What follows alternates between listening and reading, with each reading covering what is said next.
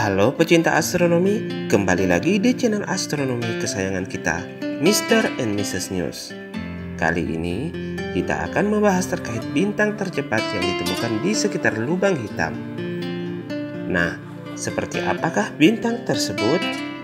Sebelum kita lanjut, jangan lupa untuk subscribe dan share video ini ke teman-teman lainnya agar mendapatkan video terbaru terkait astronomi, fenomena astronomi, dan berita astronomi lainnya.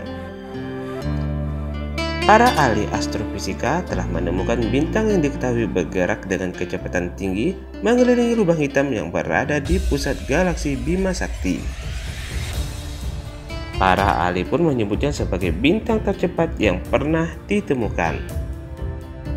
Bintang yang diberi nama S4716 ini menyelesaikan orbit di sekitar lubang hitam supermasif Sagittarius A hanya dalam waktu sekitar 4 tahun.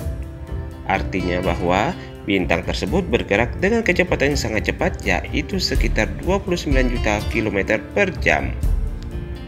Selama mengorbit lubang hitam yang diperkirakan berdiameter 23,5 juta kilometer itu, bintang S4716 bahkan mampu mendekati Sagittarius A hingga hanya berjarak sejauh 150 juta kilometer.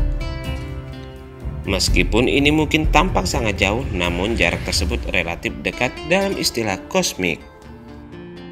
Bintang S4716 sendiri merupakan bagian kelompok bintang yang disebut cluster S yang mengorbit dekat dengan pusat galaksi dan lubang hitam supermasif Bima Sakti.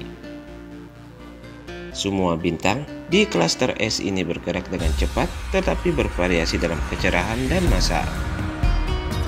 Penemuan bintang tercepat di sekitar lubang hitam yang begitu dekat dengan Sagittarius A dapat mengubah pemahaman kita tentang bagaimana galaksi kita berevolusi, terutama mengenai bintang pusat yang bergerak cepat.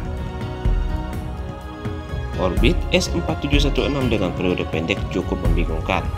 Bintang tidak dapat terbentuk dengan mudah di dekat lubang hitam, S4716 harus bergerak ke dalam, misalnya dengan mendekati bintang dan objek lain di klaster S yang menyebabkan orbitnya menyusut secara signifikan. Lebih lanjut, para ahli berhasil mengungkap periode orbit bintang S4716 berkat teknik analisis yang terus disempurnakan selama dua dekade dan menggabungkannya dengan pengamatan selama 20 tahun. Penelitian bintang tercepat ditemukan di sekitar lubang hitam supermasif ini telah dipublikasikan pada 5 Juli 2022 di Astrophysical Journal. Nah, begitulah penjelasan singkat terkait bintang tercepat yang ditemukan di sekitar lubang hitam yang bernama bintang S4716. Selanjutnya, jangan lupa untuk subscribe dan share video ini ke teman-teman lainnya agar mendapatkan video terbaru terkait astronomi fenomena astronomi, dan berita astronomi lainnya.